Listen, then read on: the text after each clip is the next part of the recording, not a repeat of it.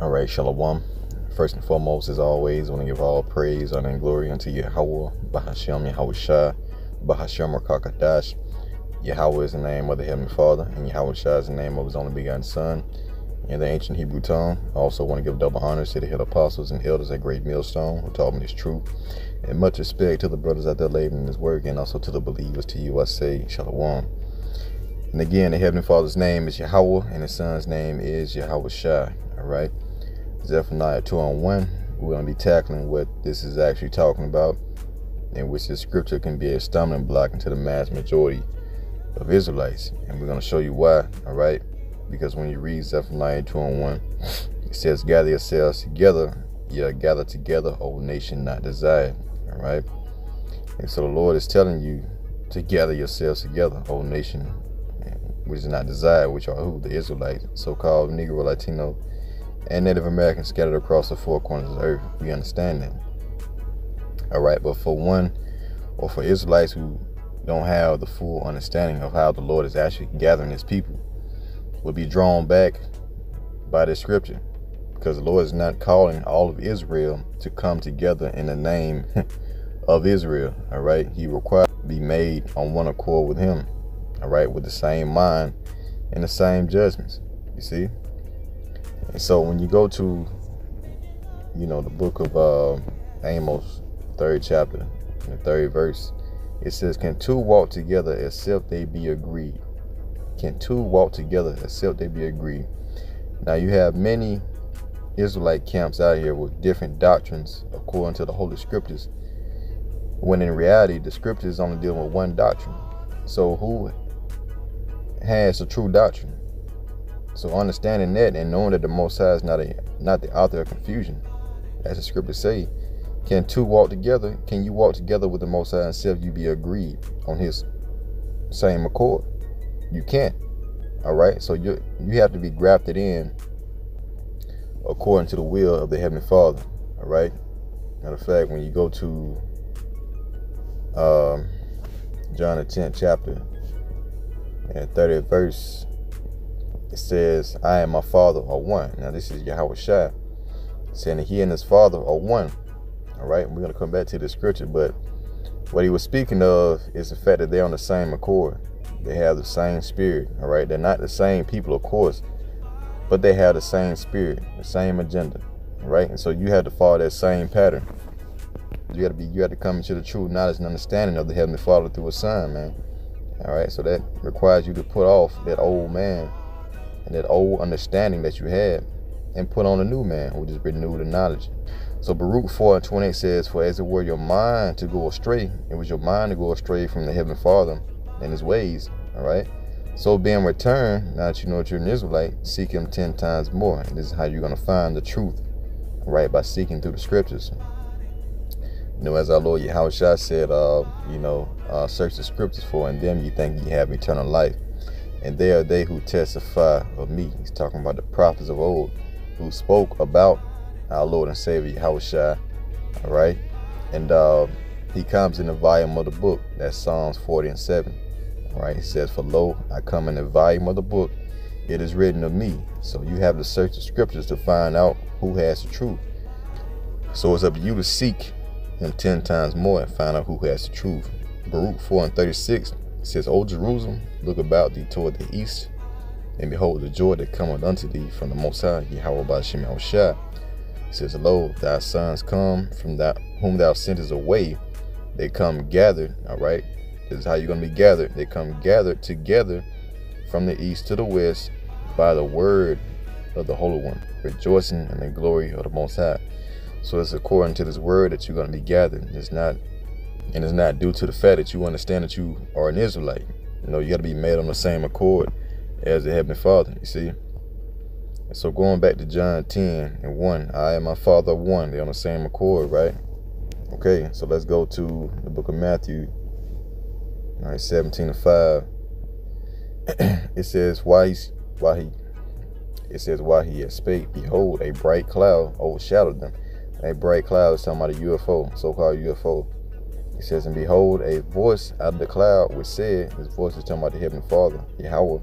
He says, This is my beloved Son, and whom I am well pleased, hear ye him. All right. So Yahawashi was given the authority to lead the people back to the Heavenly Father. So hear ye him. You see that?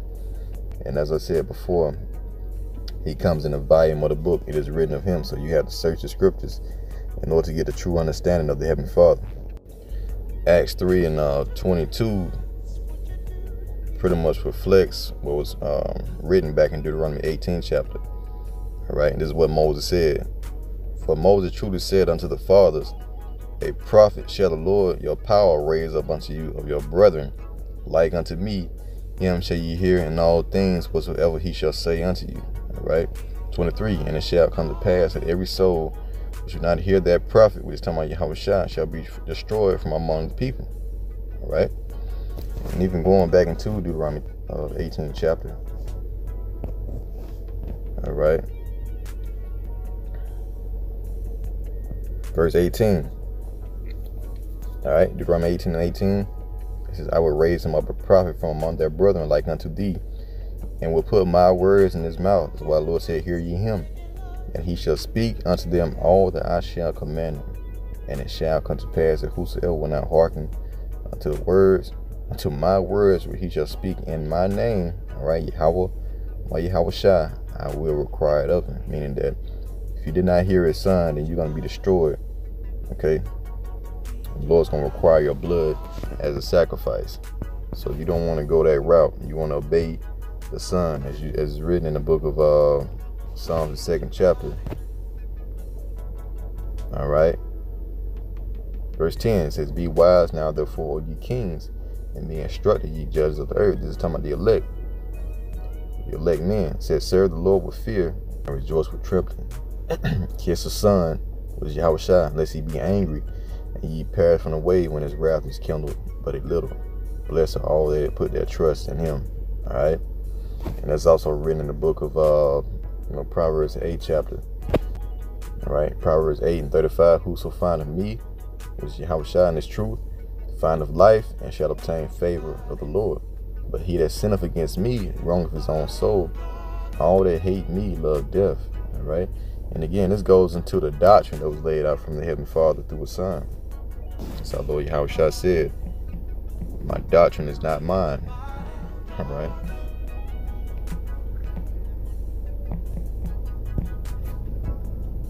John 17 and 16 says, Yahweh answer them and said, My doctrine is not mine, but he is sent me. As the Lord said, I was going to put my words into his mouth. And if you don't hear him, then you're not hearing me. If you disobey Yahweh that means that you disobey the Heavenly Father. All right, because he's speaking the words of the Heavenly Father. Okay? And so, from there, let's go to uh, go to the book of Genesis. All right?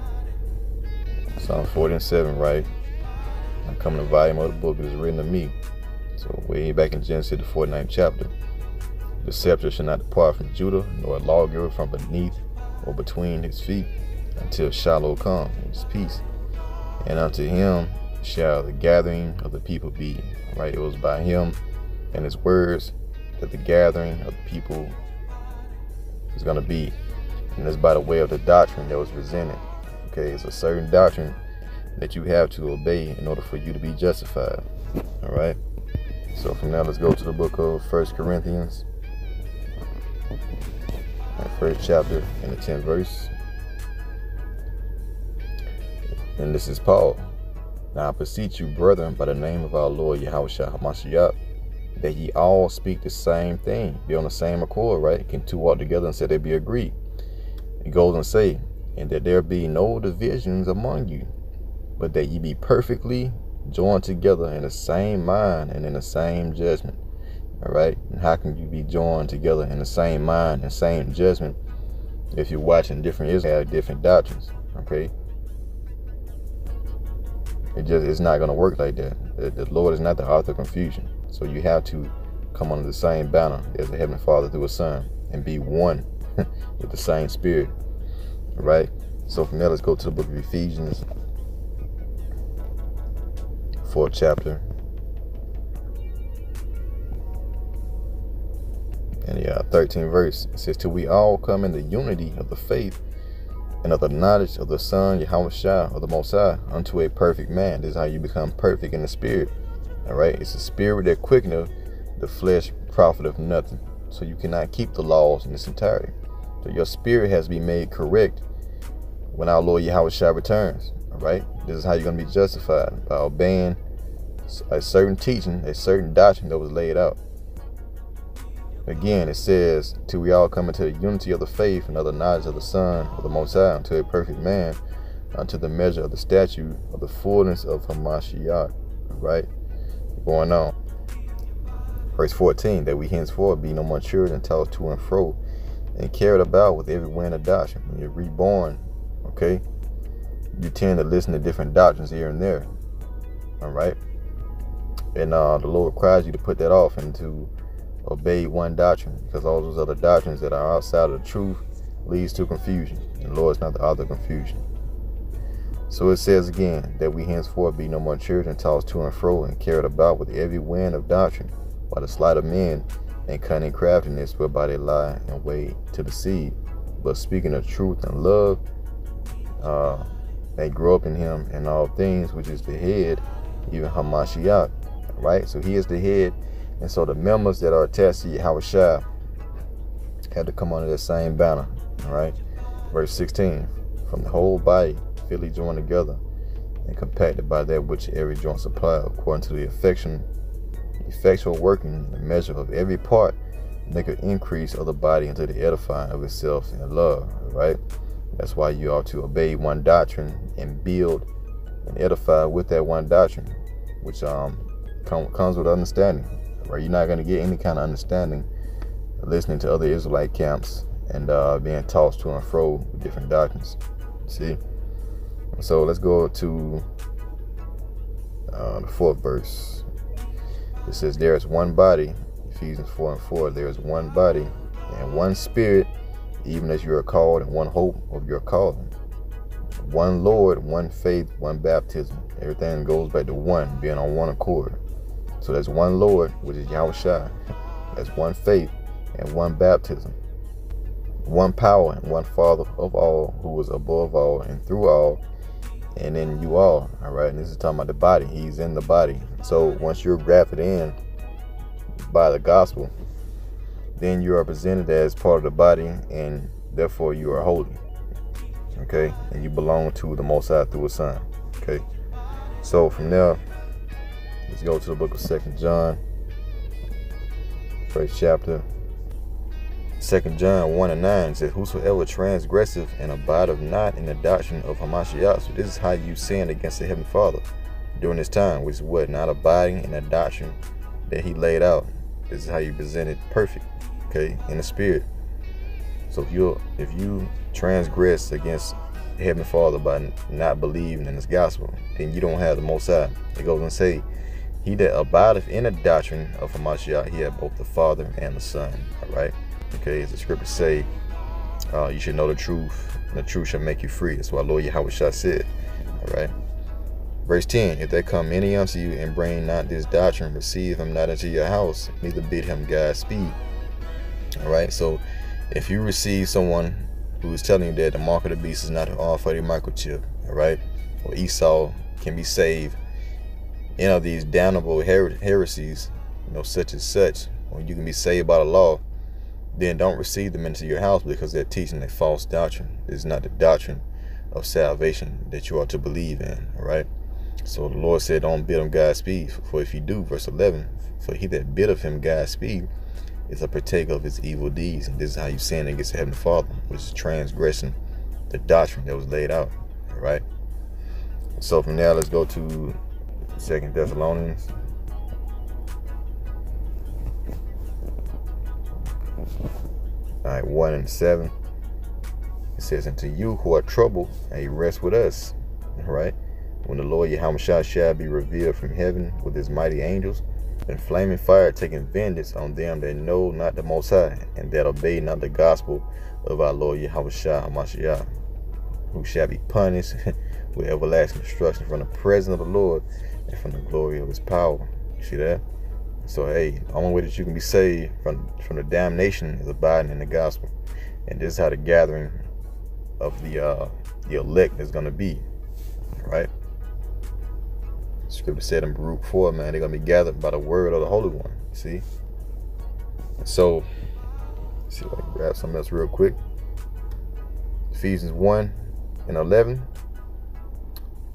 Of fact, verse 13 says, Whom in whom ye also trusted, after that you heard the word of truth, the gospel of your salvation, in whom also after that you believe you were sealed with the Holy Spirit of promise, which is the earnest of our inheritance unto the redemption of the purchased possession, unto the praise of his glory.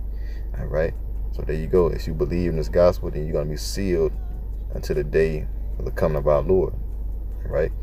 This is how you believe in the Heavenly Father through His Son, which is by abiding in the doctrine that He presented, which puts you on one accord with the Heavenly Father. All right, Yahawah through His Son, Yahawashi. All right, so with that, hey, Lord willing, you will edify till next time I say, Shalom.